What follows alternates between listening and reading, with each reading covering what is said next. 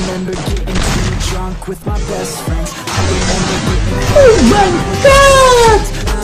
No!